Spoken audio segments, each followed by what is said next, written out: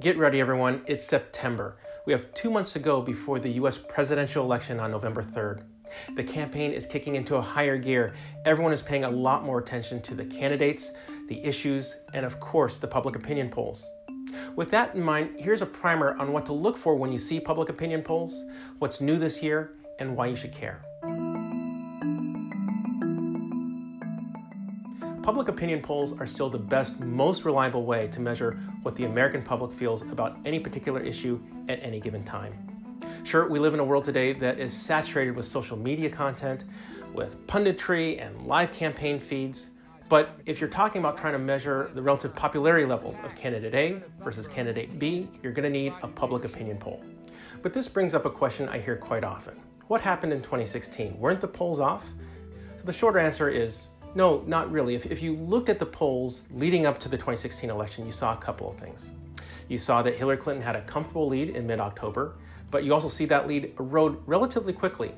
By election day, we saw that Hillary Clinton had about a two to three percentage point lead over Donald Trump in the polls. And on election day, she ended up winning the national popular vote by about two percentage points. That's pretty darn close. So, what happened?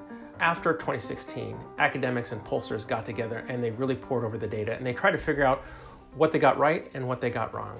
Quite often, what they found out was that a lot of polls, including the Reuters Ipsos poll, did not do a very good job of gathering responses from people without a college degree.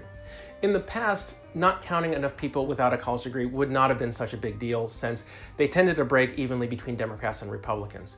But we're seeing increasingly that people without a college degree, specifically whites without a college degree, are leaning much more heavily towards supporting Republicans. And so by not counting them as much as we should have, it skewed the results a little bit. So what's happened since then?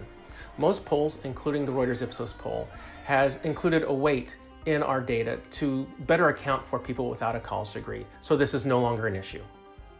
The first thing I tell people when they look at polling data is to remember the implied imprecision with the entire process.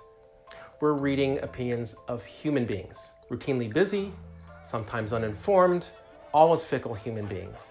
Opinions change all the time. So one of the first things to look at when you're looking at poll data is to look at the date that the poll was taken we see quite often that American opinions shift quite rapidly after major news events. Any polling, for example, on gun control, you'll see support for regulations go way up after a major shooting, so the time frame is really important. The second thing to remember when you're looking at a public opinion poll is to understand that it's not really predicting the future. It's telling you specifically how Americans feel right now. Right now, we see in our poll that Joe Biden has about a 7 percentage point lead over Donald Trump. That's how the American public feels right now, but that might not be how they feel two months from now. Finally, when you're looking at a poll, one of the best things to do is to try to stick with one poll and see if opinions shift over time.